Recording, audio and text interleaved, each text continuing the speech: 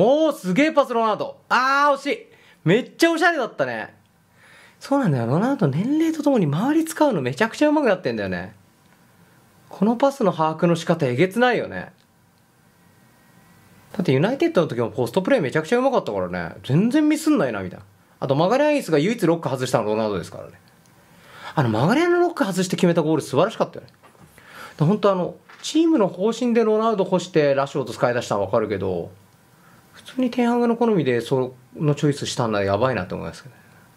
今のベナードのね、この中央のバックパスのコースキーに行ったのって外はダロトが中埋めれるから自分はこっちっていう考え方なんだろうな。すごいよな守備の切り替えの時の判断私レオザフットボールが監督を務めるシュアーボ東京では毎週水曜金曜19時間の練習でセレクションを開催しております。場所は都内近郊シュアボ東京で25万人以上に見られながら報酬をもらって本気でサッカーしませんか？多くの関係者が見るチャンネルですし、シュアボから J リーガー輩出を目指す僕らとしては、ステップアップも大歓迎です。概要欄の URL からのご応募、お待ちしております。